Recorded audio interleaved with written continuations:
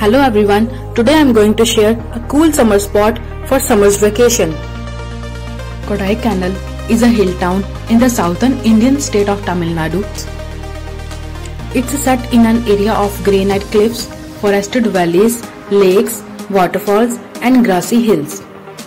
At 2000 meters above sea level, the town centers around man-made star-shaped Kodaikanal Lake bordered by evergreen forest. Rowing boats can be hired and hikers and cyclists follow the 5k lake road path around the shore. Kodaikanal is the pampered child of Tamil Nadu, serving as a summer retreat in South India. The hill station sits on a plateau with the Palani Hills smiling at it from the south and is popularly known as the gift of the forest. As the beauty that envelops Kodaikanal might leave you smitten. Make sure you visit the beautiful lakes and waterfalls before that. Soak the beauty of Kodaikanal Lake.